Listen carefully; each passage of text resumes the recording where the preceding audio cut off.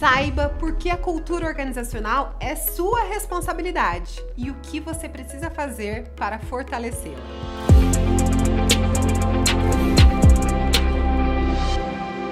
Se muitas startups só pensam em cultura quando ela já está formada pelos próprios funcionários, no Nubank fomos intencionais na cultura que a gente queria criar desde o começo. Essa é uma frase da Cristina Junqueira, cofundadora do Nubank, que acredita que o seu diferencial competitivo é a cultura. Toda empresa, ao definir sua estratégia, precisa se perguntar: eu tenho a cultura correta para executar essa estratégia? Eu tenho as pessoas certas no C-level para entregar essa estratégia? Qual é, então, a importância da cultura organizacional? Vou trazer aqui alguns pontos para você entender e se situar sobre o tema. Primeiro, definição e identidade. A cultura define a identidade da empresa. Ela estabelece seus valores, suas crenças e normas. Ela atua como um guia, quase que invisível, que influencia como os membros da organização se comportam e também como tomam decisões. Segundo ponto: alinhamento e coesão. Uma cultura forte ajuda a alinhar a equipe em torno de objetivos comuns e também promove a coesão entre os membros, criando um sentimento de pertencimento. O terceiro ponto, atração e retenção de talentos. As empresas com culturas claras e bem definidas são mais propensas a atrair e reter talentos que se alinham com seus valores. O quarto ponto, performance e produtividade.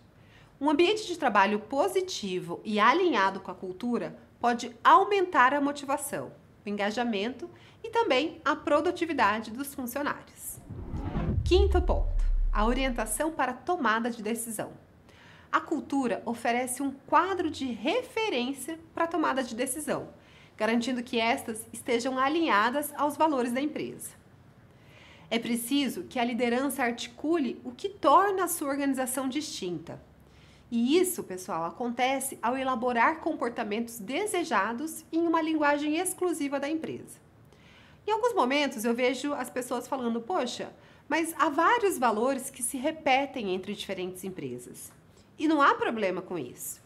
O que você precisa garantir para a cultura da sua empresa é que você tenha uma linguagem própria, um entendimento de como aqueles valores vão nortear o seu processo de tomada de decisão e também os comportamentos no dia a dia.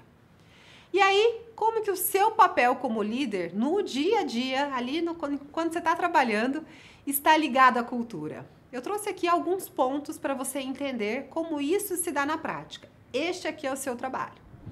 O primeiro deles é sobre modelagem de comportamento. Você precisa viver os valores da sua organização em suas ações diárias. Por quê? Quando os colaboradores consistentemente modelam comportamentos alinhados à cultura desejada, eles reforçam essa cultura para eles e para os outros. O segundo ponto é sobre comunicação. É muito importante que você tenha conversas, que você conte histórias e tenha trocas diárias entre colegas para ajudar a perpetuar os aspectos centrais da cultura. Compartilhar sucessos, aprendizados, experiências, fracassos alinhados à cultura reforça sua importância. E o terceiro ponto que eu trouxe aqui para você é mentoria e apoio.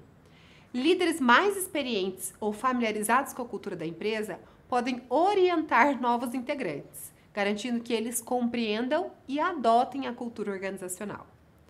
Ao entrar em uma empresa, você não é apenas influenciado pela cultura existente, mas também influencia essa cultura com suas próprias crenças, valores e comportamentos.